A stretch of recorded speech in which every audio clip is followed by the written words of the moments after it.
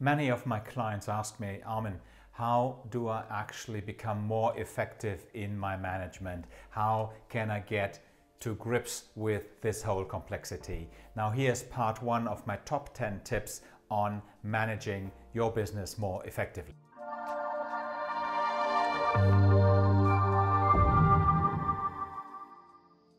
Hi, I'm Armin L. Rau, the founder of A. Leonard Rau, the entrepreneur's entrepreneur, and I am changing founders into leaders. Once the point has come, the time has come where a founder has a team of 10 to 15 people, uh, is on seven digit revenues, etc., and has a whole lot of complexity to manage. That is the point where you have to change from the founder status into the leader status, and I'm helping you with my tips, tips and tricks and methods to become a better leader, manager, and hence have less sleepless nights, obviously. Now, um, this video is about uh, the five, the first five tips on managing your business effectively. And uh, here we go. Tip number one is you must have a concrete strategy and a concrete plan, a sound strategy and a concrete plan, I should say. Now, what is a sound strategy? A sound strategy is a strategy that clearly defines where the focus of your business is and where you, uh, how you want to uh, make money? Do you want to differentiate or do you want to uh, play um, um, more a cost-driven model? That has to be defined very clearly and also a strategy always contains a roadmap on how you are getting from the current position to the future position. A plan then is actually a list of actions about who is doing what and by when. So you really need the plan that is the next level down from the roadmap that makes the whole implementation more concrete. I actually have uh, one or two or even more videos about vision and strategy on uh, this channel, so feel free to have a look at them um, if you are looking for more inspiration on how to craft a sound strategy. The second tip for managing your business more effectively is to delegate tasks. Especially when your team becomes bigger and when your company becomes bigger, it's impossible to do everything on your own. So uh, get rid of tasks that you can delegate to others. It also has the nice effect that uh, you can empower people, uh, give them the trust that they can actually do that. And by that, you will have a lot more of engagement in your company.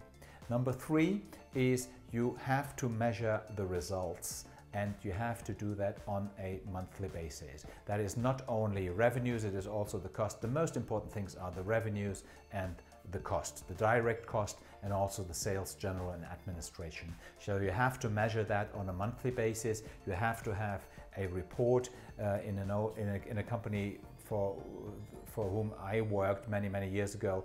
We called it the monthly book and every manager would have that monthly book and could then analyze the numbers and agree on corrective action based on what the monthly book told us. The corrective action that I have just talked about is the fourth tip that I have for you to manage your business more effectively. Now, corrective action is important, you know, because just analyzing the numbers and doing nothing is not um, is not the right way uh, to, to get your business forward. The other thing also is that, um, you know, acting is very important and if you have uh, the right action, do not think about all the negative consequences of that right action. A right action stays a right action even though it has negative consequences. So it display, live this executive discipline of, you know, implementing the corrective action. That's tip number four.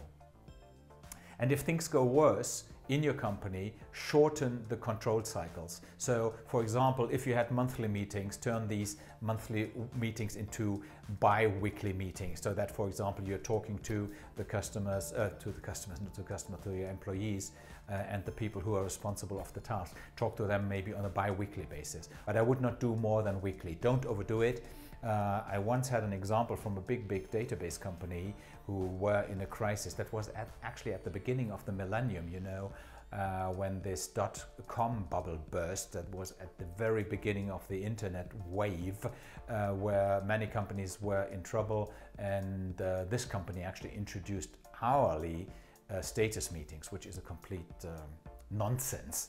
Uh, it does not only uh, drive everybody completely crazy, it also um, exaggerates completely uh, the urgency of the situations and nobody gets anything done because everybody is in status meetings all the time. So here's the summary, part one of my top 10 tips for more effective management. First of all, have a sound strategy and a concrete plan. Number two, delegate tasks. Number three, measure results on a monthly basis. Number four, introduce corrective action if you're not on track. And number five, if things go worse, shorten the control cycles, but don't overdo it. If you would like to learn more about how to manage your business better, how to become a better manager, how to change now from, from founder into manager, into leader, please feel free to apply for a consulting session with me by clicking on the link underneath this video. You can alternatively write me a WhatsApp. The number is on the screen right now and we will have a chat and see if there is potential for me to help you. This session that we are going to have is completely free and it is not a sales session. So I'm not trying to sell you something, to sell you my great programs or whatever. It is more about helping you um, and also it's really about gaining your trust. And if your trust is, is high after that session, uh, and you decide to work with me, that's really great. And uh, I can help you to make your business more effective and to create less sleepless nights for you and a much more uh, profitable business. If not, it's also fine. You go your own way and at least you have a plan in your hands that helps you to manage your business better in the future. This was Armin L. Rau from A. Leonard Rau, the entrepreneur's entrepreneur. And don't forget, lead yourself.